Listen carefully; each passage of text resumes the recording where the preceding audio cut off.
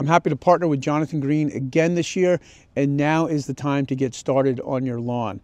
What I like to do is rake up some of the dead winter leaves and kind of rejuvenate the soil. Next, I'll hit some of those stubborn bare spots with Jonathan Green's Patcher. You're going to want to feed your lawn, and what I like to use is Jonathan Green's Veri-Green Lawn Food.